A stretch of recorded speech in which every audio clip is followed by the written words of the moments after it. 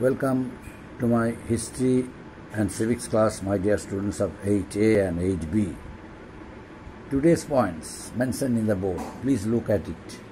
Rise to the spirit of nationalism, formation of an all Indian movement owing to well developed system of transport, national awakening, democracy and national freedom. And last point, aspirations for self government. The first point, rise to the spirit of nationalism. My dear students, when the British not came to our country, our country, India, had no centralized admi- administration. That means so many states were there, and so many rulers also were there. One state was governed, was ruled by one ruler. That's why the people of different parts of India or different states of India had no sense of oneness. They had no sense that they belong to one nation, they belong to one country. On the contrary, they always were ruled by one ruler. That's why there was no national awakening among their minds. They could not understand that they had their own identities. Since they were ruled by that particular ruler of that particular state they belonged. But when the British came to India as traders and ultimately became the ruler of our country, they introduced a centralized admi- administration and ruled the people of India. As a result, the sense of oneness formed among the minds of Indian people. For the first time, they felt that they belong to a country. They belong to a country. They, they, they were the people of a country named India. So they must have their national identities. They must have their national, and therefore a national, national sentiment for the race. They realized that they would be treated they would be treated by one ruler belonging to citizens or people of one country one nation. And each and all people would be treated would be treated without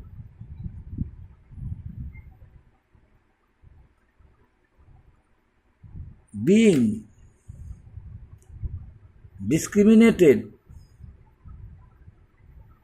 for their religion, for their language, for their religious sentiments, culture. And this thing and the introduction of central administration introduced by the British helped the people of India realize that they had their own identity. Naturally it led to the growth of indian nationalism among them. Indian nationalism. Their country's name is india. Since they belong to that country india their identities are Indians. They belong to a country named India. Their identity, their national identities are Indians. For the first time, they felt it, they realized it, they understood it. And second one, formation of an all Indian movement. Formation of an all Indian movement. You know, the British, in the interest of themselves, set up a good network of roadways, railways, waterways, and brought a remarkable, remarkable development in the field of communication. And hence, the people of India for the first time realized it that the problems of other Indians who are living in other sides of this country, who are living in other parts of that country, were facing the same problems. So, the problems they were facing and the aspirations they were, you know, developing in their minds were not different from those living in other parts of the country. For the first time, they felt it, they realized it. And it enabled, it enabled them to communicate their thoughts with each other and at the same time help them to organize an all India movement. And next point national awakening. National awakening. The people of India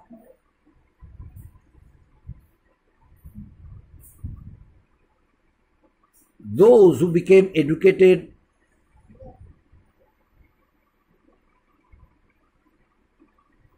they read the thoughts of Mills, William Jones,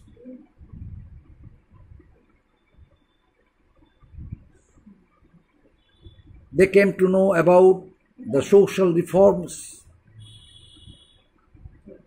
introduced by a number of social voluntary social organizations of India like Brahmo Samaj, Arya Samaj, Ramakrishna Mission, Theosophical Society.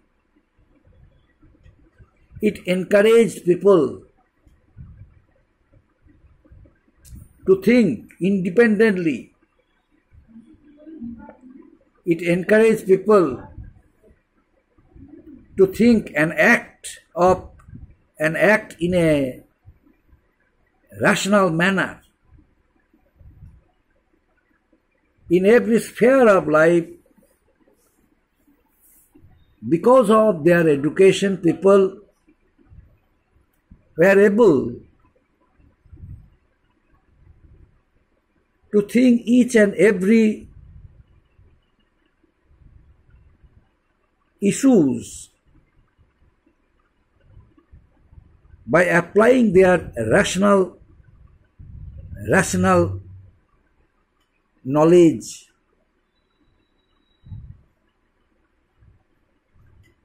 And they ultimately left the prejudices, the superstitions the orthodox attitudes and ultimately became a complete man and decided to do something better for the country's development and growth. They realized that that very country, India, belonged to them. They were Indians.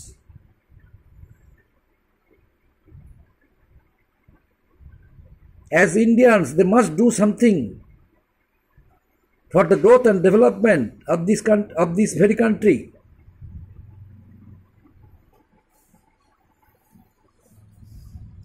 And it gave a birth of national awakening among the Indian people.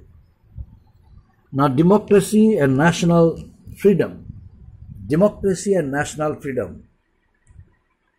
The people of India, especially those who became educated, they studied the history of French Revolution, the concept of liberty, equality, and fraternity encouraged Indian educated people who were determined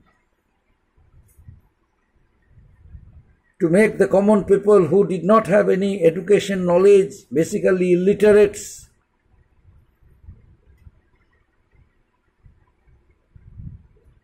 now educated people decided to communicate message for them that it belonged to their country. Every people of India would be treated equally. And the Britishers, they came to this, they came to that country, to that country, India, to rule the Indians. So one day obviously would come.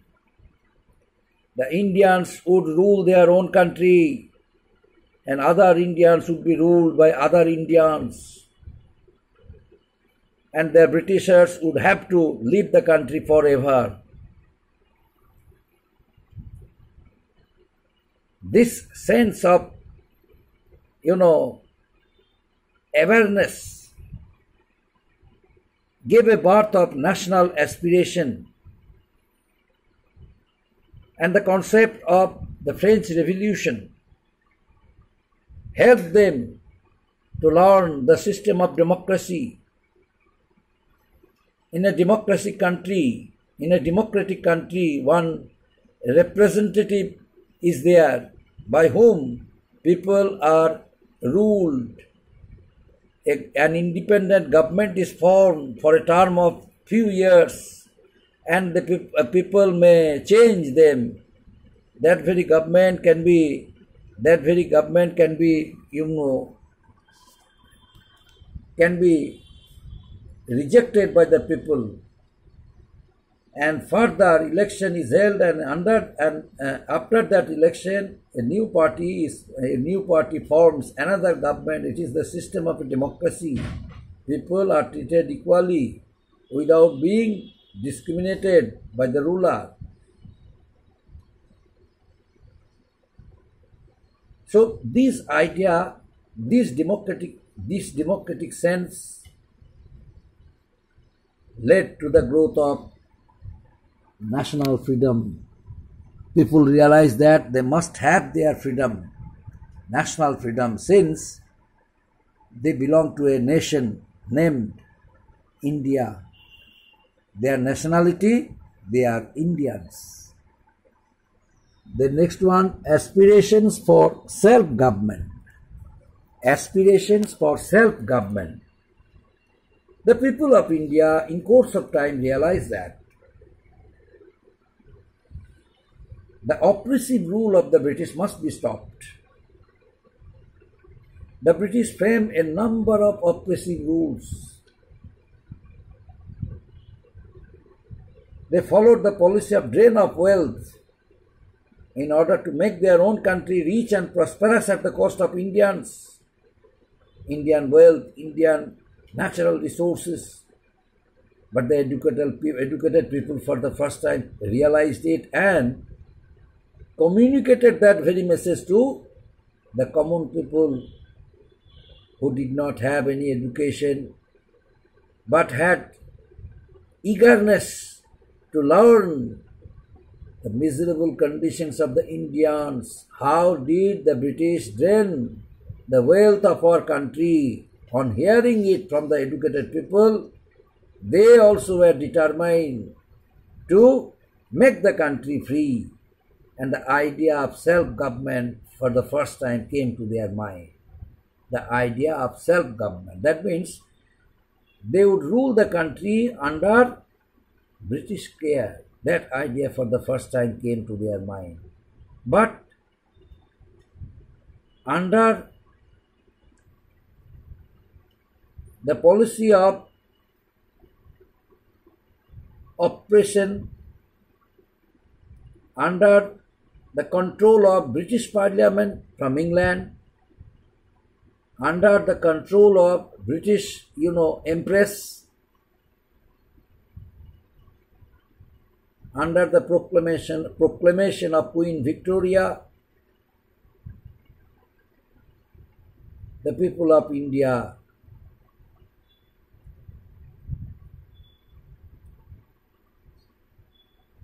remain silent. But when the people of India, especially the Sipais of India, were maltreated by the British British administrators, maltreated by the British government. They took an oath to start armed rebellion against them. They had been eagerly waiting for the situation. Suddenly, one technical mistake the British committed, they introduced a new system of cartridges whose paper was made of fat of cow and pigs. And there was a system of that cartridges covered with a paper made of fat of cow and pigs before loading the cartridges into the rifle Enfield, the Sipais would have to would have to open it with their teeth. But that that system that system of using the cartridges for Enfield rifle harmed their religious sentiments. Both the Hindus and Muslims felt insulted and they refused to use the cartridges of the Enfield rifle and ultimately the Sipai mutiny, the battle, the revolt of 1857 took place, my dear students. That history already I have taught you. But thing is that this revolt of 1857 encouraged millions of people of India that they could protest against the British wrong policy. They could make themselves united against the oppression of the British.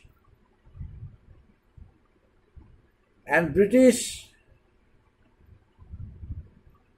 foundation, they shook the very foundation of the British during the revolt of 1857 up to this, my dear students. Thank you.